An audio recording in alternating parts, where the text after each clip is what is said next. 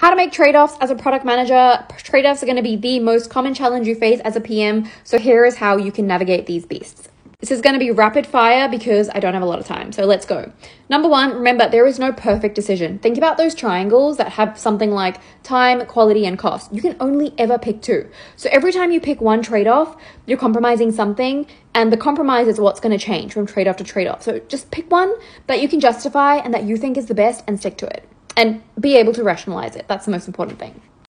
Again, document that rationalization. Document it, the why, because you're going to have to come back to it one day and you will forget. Number three, what people are going to be giving you lots of feedback from their perspective, from their discipline, whether it's design, engineering, architecture, security, whatever it is. But you are the one who is accountable for your product. You represent it as a whole. You represent the customer. So remember your product's objectives and priorities, and remember your customers. And that's going to be your why when you're making decisions.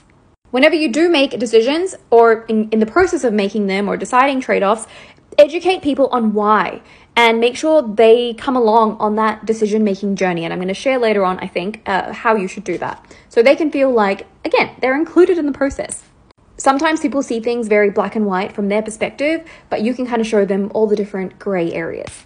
Number five, use data where you can. So you're not just making decisions from like a gut feel kind of perspective people know that you have to make trade offs. So remember, they know you can't do everything. So don't fear that you will be judged for making compromises when it comes to certain trade offs.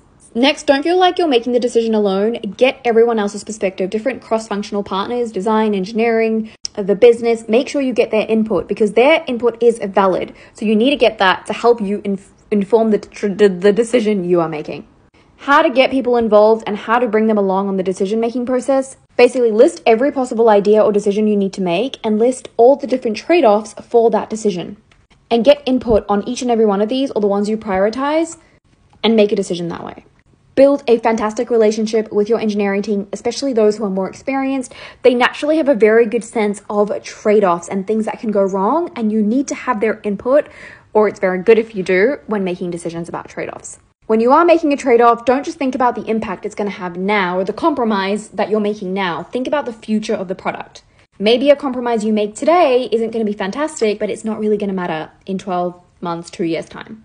And lastly, trade offs are just a part of the job, so why not enjoy them while you can? They are the only constant. Think of it like a game and just have fun with them. That was really quick. I hope this made sense.